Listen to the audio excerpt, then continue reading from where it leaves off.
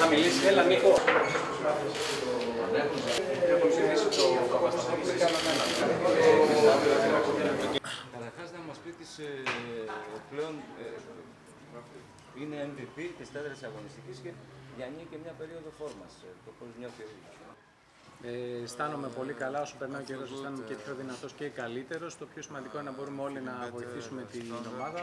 Μέχρι στιγμής τα αποτελέσματα είναι καλά και θέλουμε να συνεχίσουμε στον ίδιο ρυθμό. Παίζει ρόλο το γεγονός ότι παίζεις στην αριστερή πλευρά και φαίνεται ότι στα τελευταία μάτια ας πούμε, του, του ταιριάζει αυτή η θέση. Δεν ξέρω.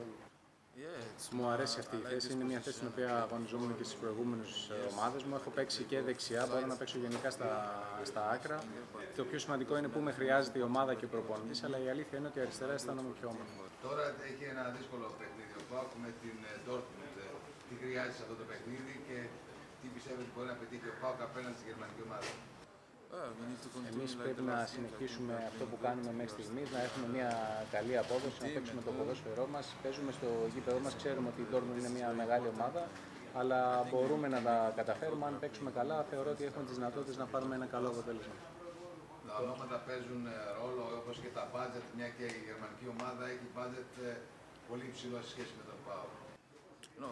Όχι, δεν νομίζω ότι παίζει κάποιο ρόλο αυτό. Το ποδόσφαιρο είναι ποδόσφαιρο, είναι ένα παιχνίδι μέσα στον αγωνιστικό χώρο. Αυτά δεν μετράνε. Γνωρίζουμε όλοι ότι μπορούσε να είναι μια πολύ καλή ομάδα.